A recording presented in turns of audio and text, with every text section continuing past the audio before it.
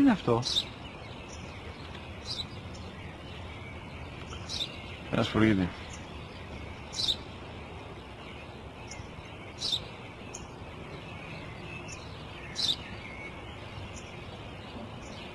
Τι είναι αυτό; Μόλις τώρα στο παπατέρα, σπουργίτη είναι.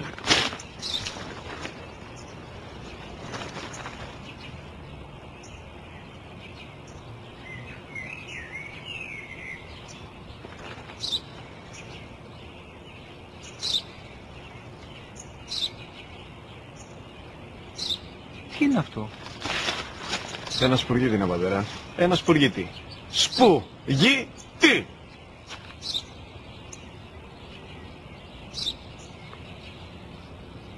Τι είναι αυτό; Γιατί το κάνεις αυτό το πράγμα, μπορείς να μου πεις τόσες φορές σου είπα, είναι ένα σπουργίτη. Δεν το καταλαβαίνεις. Πού πας;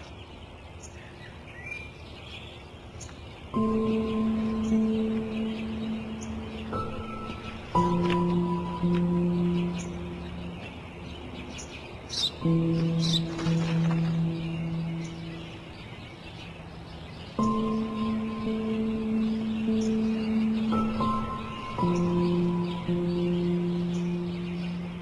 you.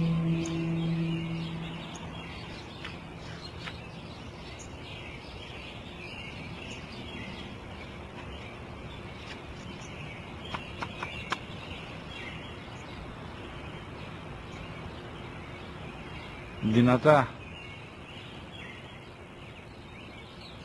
Σήμερα ο μικρός μου γιος που πριν λίγες μέρες έκλεισε τα τρία καθόταν μαζί μου έξω στο πάρκο όταν ένας σπουργίτης ήρθε και κάθισε απέναντί μας. Ο γιος μου με ρώτησε 21 φορές τι ήταν αυτό και του απάντησα και τις 21 φορές ότι ήταν